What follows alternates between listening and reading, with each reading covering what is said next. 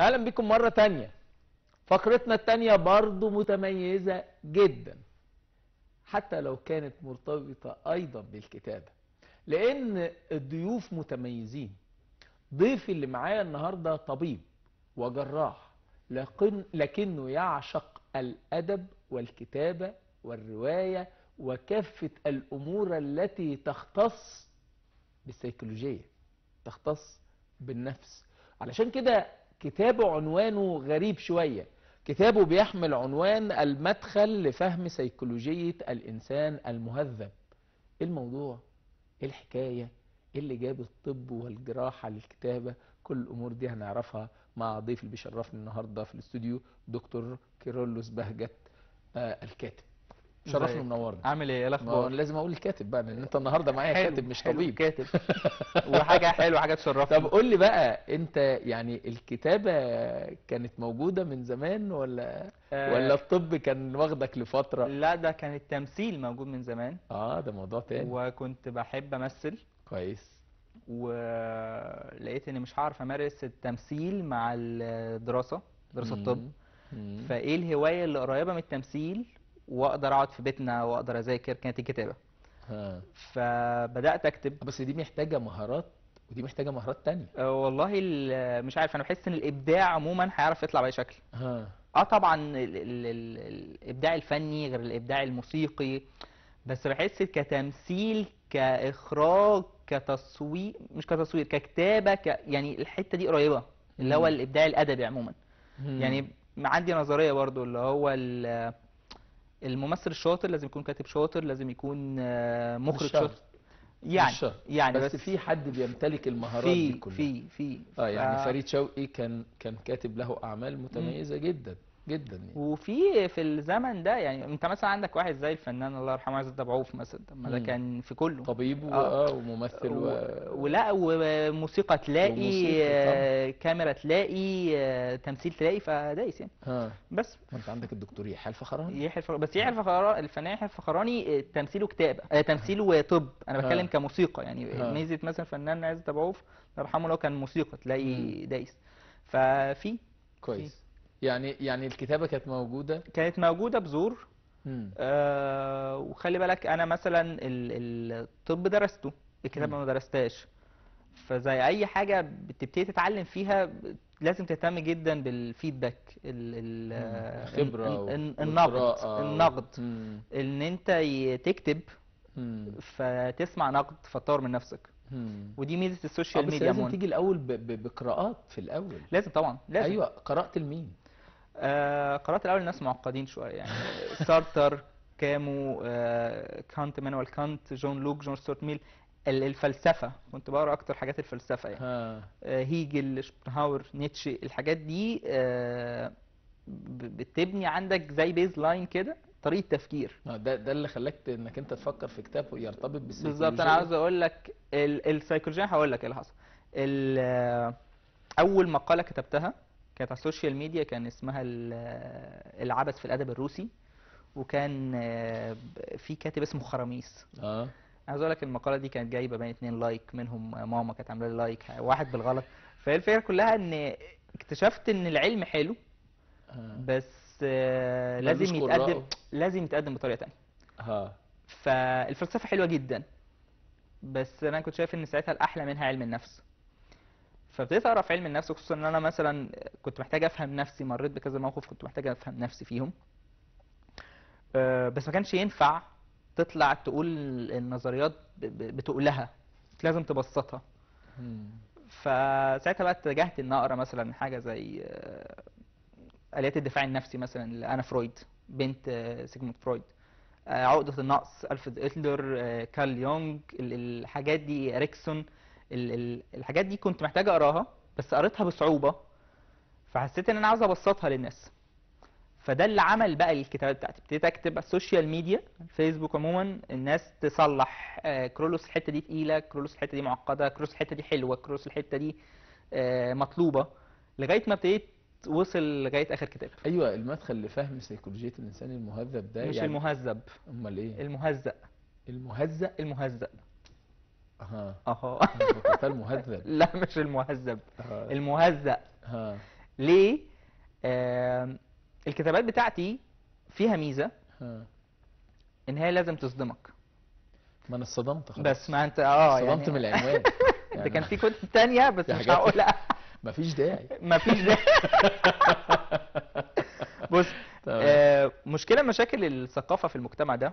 إن الثقافة ماشية في حتة والشارع ماشي في حتة. ومش الحل إن أنت تفضل منفصل الحل إن أنت تجيب ال ال ال- الشارع بالثقافة. الشارع عمره ما هيطلع يقرأ بس أنت ممكن تنزله. يعني أنت مثلا لما تشوف ال ال المبدع نجيب محفوظ. محفوظ ما كانش متعالي. آه كان ماسك اللغة بس كان بيكتب عامي كان بي- بيستخدم مصطلحات شارع. تيجي مثلا تشوف الثقافة المصرية تحس إن واحد زي ال- ال- المفكر أحمد لطفي السيد كان بينادي باللغة العامية.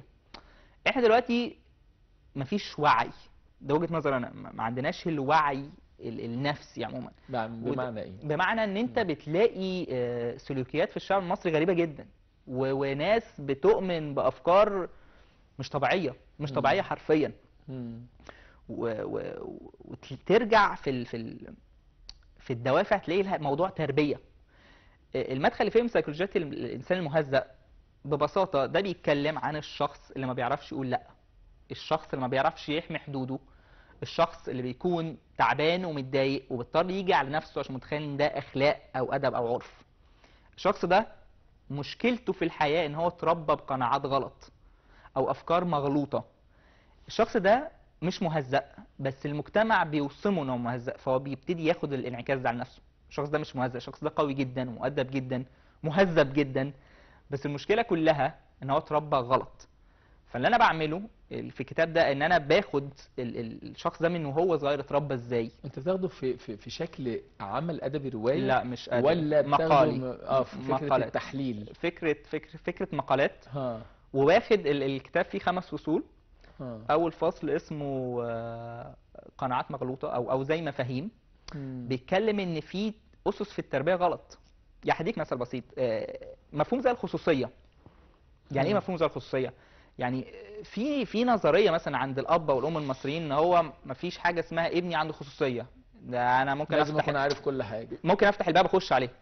عايز أقول لك إن كان في ارتكل بره قريتها مقالة بتتكلم إن لو أنت ما أدركتش النقطة دي في الطفل وهو صغير بيكبر حاسس إن هو حقوقه منتهكة يعني هديك مثل بسيط برضو يعني في فكرة غريبة إن ال- الزوج أو الشريك الحياة لازم يفتش موبايلك أو موبايل أو هي تفتش موبايل يعني لأ إحنا الاثنين كيانين أنت كيان وأنا كيان لازم يكون في احترام للكيان أيوه ده ما هو بيبقى ال- ال- التفتيش ده نتيجة شك أو ما ده غيره. غلط ما بقول لك أيوة. الفكرة بقى ده العامة يعني. في في فكرة غلط في المجتمع. أنا بقى بديك في- حاجة بسيطة جدا. تمام.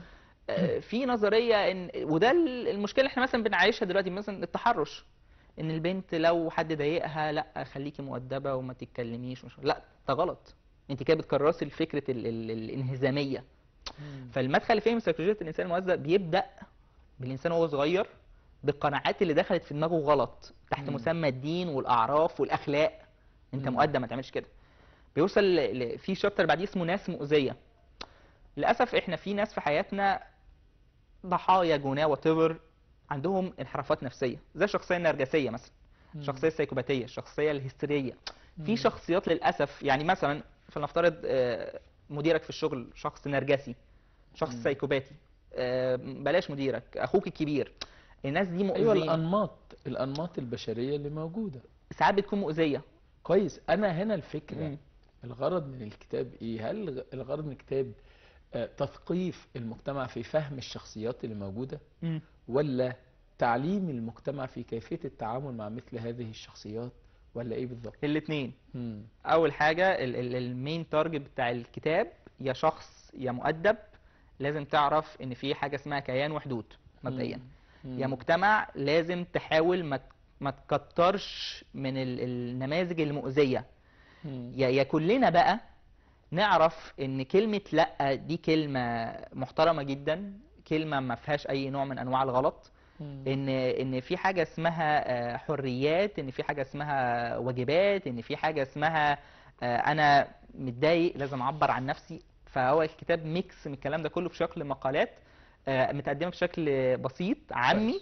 بس في نفس الوقت فيها الصبغة العلمية طيب أنت هل عملت زي ما نقول كده استفتاء لردود الأفعال من خلال ال social media مم. قبل ما تنزل في كتاب؟ آه عملت. عملت. مم. ردود الأفعال كانت حافز إنك تنزل في آه. كتاب لقيت ده آه،. فعال يعني لقيت ده فعال؟ جدا. طيب بعد ما نزلت الكتاب ردود الأفعال بقى شكلها عامل بقت؟ أحلى. يعني إحنا في خلال 10 أيام كنا واصلين للطبعة الثالثه ما شاء الله. ودي حاجة كانت عظيمة في معرض ما الكتاب. شاء الله. وخصوصا إن اللون اللي أنا بكتب فيه ما فيش حد داس فيه كتير. إن كويس. هو أنت بتكتب علم بس بأسلوب شعبي. يعني اللي هو علم النفس الشعبي اللي هو أنت قصدك آه، آه، لغة الحوار؟ لغة الحوار. آه آه، أو لغة كتابة المقال. بالظبط. يعني قريبة من الناس جدا. بالظبط. كويس كويس. القراء أنهي مرحلة سنية؟ آه، أكتر اللي هو من 18 ل 25 26 ده ده المين. آه، موجود آه، طبعا فوق ال 25 26 وبفاجئ إن في آه، وخصوصا ستات كتير قوي في الأربعينات والخمسينات بيقولوا مم. الحاجات دي حلوة وإحنا عاوزين نعلمها لاولادنا وأحفادنا وحاجات زي كده كويس مم. طيب أنت ب... ب... يعني دايما بطبيعة الحال أنت عارف بيجي لنا آراء نقدية ما بين مم. الإيجاب والسلب طبعا إيه النقد السلبي اللي جالك لما أنت بصيت عليه قلت صح كان المفروض اعدل ده بالشكل ده ولا ده ما حصلش؟ ما حصلش عشان أنا عشان انزل كتاب آه، بمر بكذا مرحلة. امم اولا في مجموعة أصدقاء ليا أنا مسميهم اللجنة. حوالي مم. مثلا خمسة أصحابي في شغلي خمسة أصحابي من أيام المدرسة خمسة أصحابي مش عارف إيه. أمي مم. عامل مهم جدا. فأنا بعرض الكتاب في الأول عليهم وهم بيدوني الفيدباك فاهم قصدي؟ ف... آه فلما هم بيدوني ال- ال- الرأي بصلح. فبيكون عامل النقد السلبي ضعيف جدا. أيوه بس خد بالك يعني ده بيتوقف برضه على مين اللي بيقرأ. لأن مين اللي بيقرأ؟ دي مرتبطة بثقافة مين اللي بيقرأ طبعا. بمعلومات مين اللي بيقرأ بخبرات مين اللي بيقرأ. ما ما فيش ف- حاجة احتاج للناس كلها. بعلم مين اللي بيقرأ. يعني أنت ما تبعت أنت ما أنا سألتك سؤال قبل ما نطلع قبل ما نصور. قلت لك أنت درست علم نفس مم. في إعدادي قلت لي أنا درست في ثانية وفي خمسة. وفي خمسة. مم. فيعني اذا انت لما بتيجي تستعين بزملائك عندهم خبرات علمية. لا وفي زملائي مش أطباء أصلا. أيوه ما هو ده اللي أنا بتكلم فيه. أنا فاهم قصدك. هو مفيش حاجة بتعجب الناس كلها. آه. يعني أكيد في ناس مش عاجبها وفي ناس معترضة على الطريقة دي. أوكي.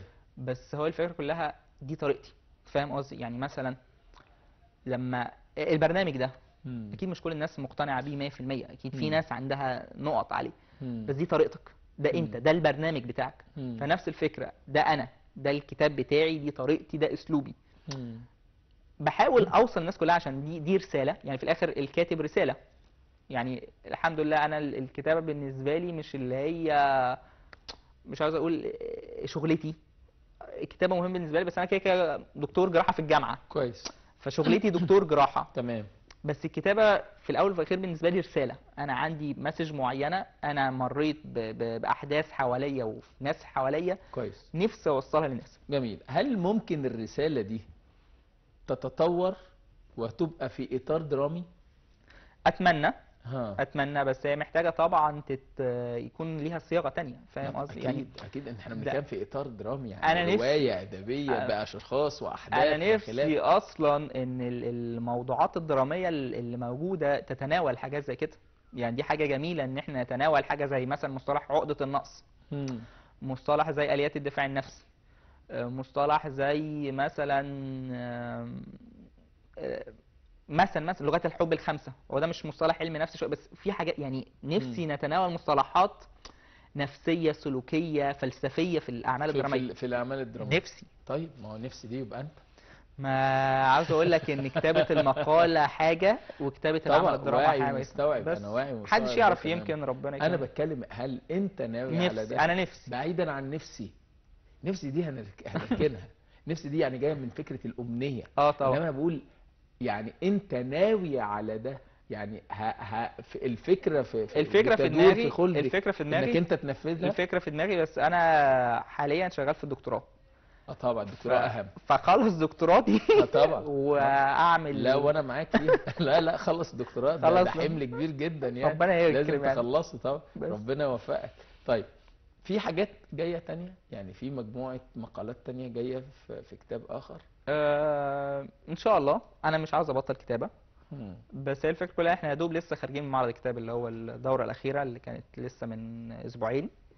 آه، فمستني أعرف آه، ال- التعليقات أو رأيك على الكتاب ده.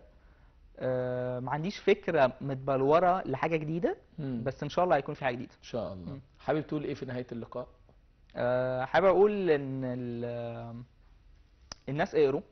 م- مش مش مش لازم كتبي بس اقروا عموما. الأزمة اللي إحنا عايشينها نتيجة إن إحنا ما بنقراش. أكيد. و ال... ال... القراية مش معناها إن إحنا نمسك كتاب ونقعد نقرأ. القراية اللي إحنا نف... نفتح ده. فلما نفتح ده هنكون متقبلين لكل الافكار أكيد. فهنتطور. هنفضل قافلين على الكم معلومة اللي عندنا اللي اتعلمناهم في الكتاب اللي اتعلمناهم من التلفزيون اللي اتعلمناهم من الناس اللي حوالينا مش هنتطور هنفضل زي ما إحنا. مم. وإحنا شايفين إن في مشاكل في المجتمع عمرها ما تتحل غير لما ده يتفتح ويتقبل أفكار كده. بس. دكتور كيرلس نجيب شرفتني ونورتني. كيرلس بهجت. آه، عفوا كيرلس بهجت شرفتني ونورتني. أنا اللي مبسوط جدا بجد. وسعدت بوجودك وإن شاء الله نلتقي بعد. ما تخلص الدكتوراه. وتحاول اللي انت عملته ده روايه أدبية بقى. أكيد. نتكلم عشان نقول كنا اتكلمنا في الموضوع ده. أكيد. شرفتني. الدنيا ده. أنا مبسوط جدا شكرا حضرتك ليك شكرا ليك.